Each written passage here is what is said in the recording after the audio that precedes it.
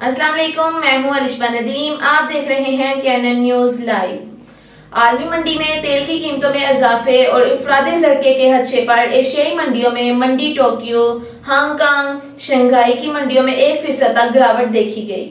आलमी मंडी में waste textile central मीडियट 200 की कीमत भरकर अठहत्तर डॉलर नवासी सेनेट फ़ी बैरल हो गई, जबकि बर्नेट नाट की फ़ी बैरल कीमत बयासी डॉलर साठ सेनेट फ़ी बैरल हो गई है। मजीद तफसीत के लिए देखते रहिए के एन एन न्यूज़ लाइव।